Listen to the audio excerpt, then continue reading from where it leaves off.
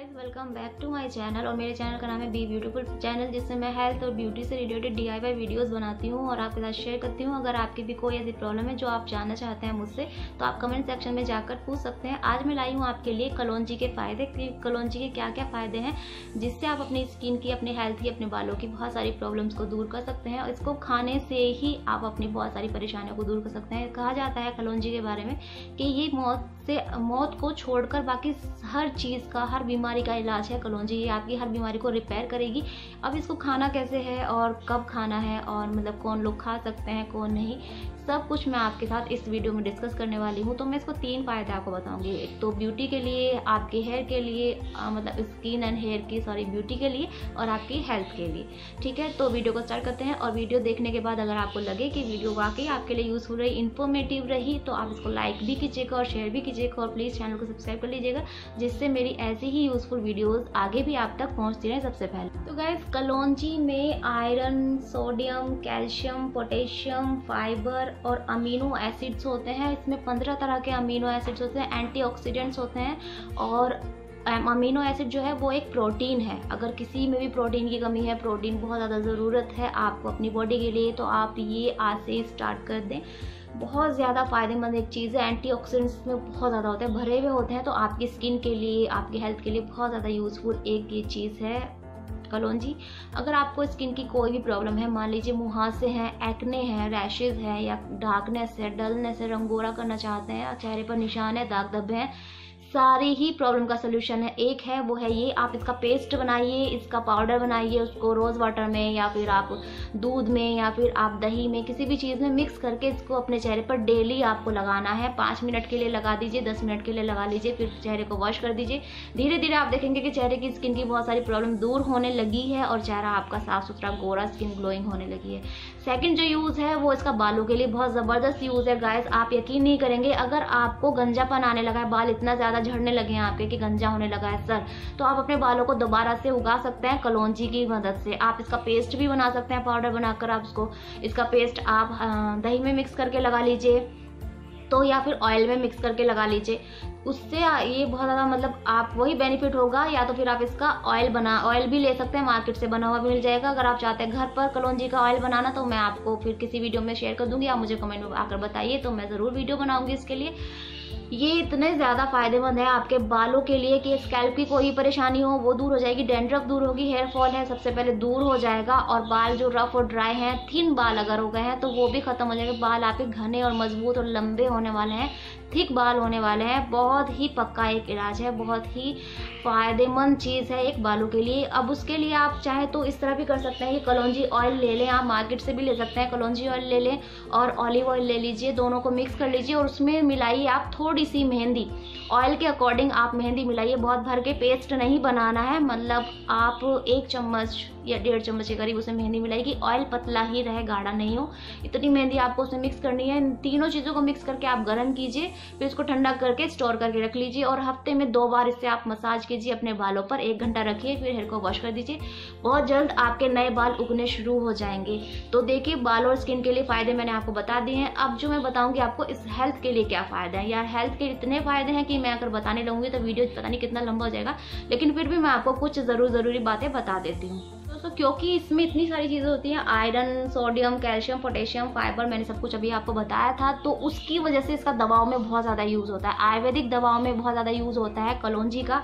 कलौजी, कोशिश कीजिए कि आप रोज़ाना खाएँ, इसको खाने से अलग, अगर आप चाहते हैं तो पाउडर बना के रख लीजिए, पाउडर को आप अपनी सब्ज़ी में डाल लीजिए, वन पिंच के करीब आप पाउडर लीजिए और अपनी सब्ज़ी में मिक्स कीजिए और खा लीजिए तो इसका टेस्ट आपको कुछ ज़्यादा पता नहीं चलेगा। तो इसकी स्मेल बहुत अच्छी होती है, अचार में डालते हैं, इसका अचार में, अचार की स्मेल तो आप समझ ही रहोगे कैसी होती है तो वो इसकी वजह से इतनी अच्छी स्मेल होती है इसकी, वही वाली।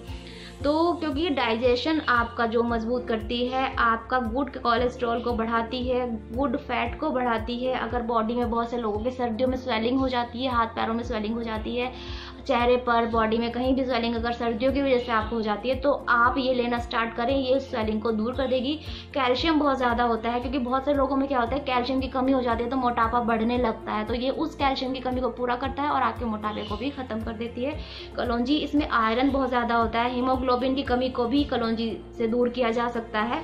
और अगर किसी को साइनस की प्रॉब्लम है, खराटे बहुत ज़्यादा आते हैं या छीके जैसे सुबह उठते हैं तो बहुत ज़्यादा छीके आ रही हैं। या तो फिर कफ कोल्ड की प्रॉब्लम है अगर आपको थ्रोट इन्फेक्शन बहुत जल्दी हो जाता है तो उसको भी आप कलौजी से दूर कर सकते हैं। अगर आपको हाई बीपी की प्रॉब्लम है कोलेस्ट्रॉल आपका आ, मतलब सही नहीं रहता कोलेस्ट्रॉल प्रॉब्लम है आपको अस्थमा की प्रॉब्लम है बहुत जल्दी उससे ये ठीक हो जाएगी। अगर आपको हड्डियों का दर्द है सर्दियों में बहुत लोगों को हड्डियों का पेन हो जाता है उंगलियों में जोड़ों में हाथ पैरों में जोड़ों में दर्द होता है, घुटनों में दर्द हो जाता है, वो भी इससे ठीक हो जाएगा अगर आप इसको रेगुलर यूज़ करते हैं। तो इसमें कॉपर बहुत ज़्यादा होता है, जिससे कि थ्रोट इन्फेक्शन को भी इससे ठीक होता है। तो कॉपर की कमी से जो भी आपकी परेशानी है, जो भी बीमारी है, सब कुछ इससे ठीक हो जाएगी।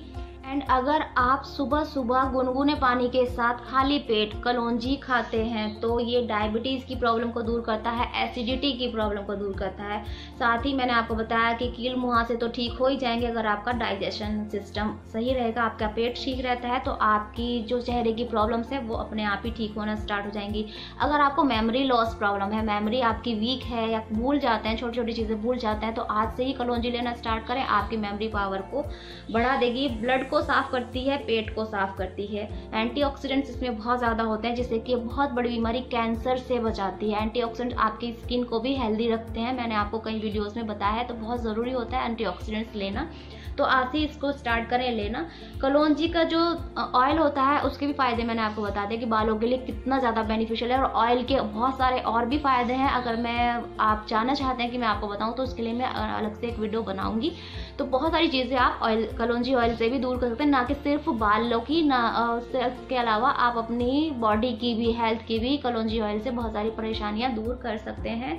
नए बाल तो ये उगाता ही है, साथ ही आपकी बॉडी को भी हेल्दी रखता है, आपकी स्किन को भी हेल्दी रखता है और हेल्थ, हेयर तो आपके इससे हेल्दी और मज़बूत घने होने ही वाले हैं। बहुत सारे फ़ायदे हैं दोस्तों, वीडियो अगर अच्छी लगी हो, ये पूरी इन्फॉर्मेशन अगर आपको अच्छी लगी तो प्लीज़ को लाइक और शेयर कीजिएगा और ज़्यादा से ज़्यादा मेरी वीडियो को लोगों तक बचाइए जिन लोगों को नहीं पता है उन लोगों को इसके फ़ायदे पता चले। और अब मैं बता रही हूँ आपको कि इसको लेना आ, मतलब किस तरह से है कितना लेना है। तो दोस्तों या तो आप इसका पाउडर बना के रख लीजिए जब भी आप खाना खा रहे हैं वन पिंच पाउडर लें और अपनी सब्ज़ी में डाल लें और उसको मिक्स करके आप खा लीजिए।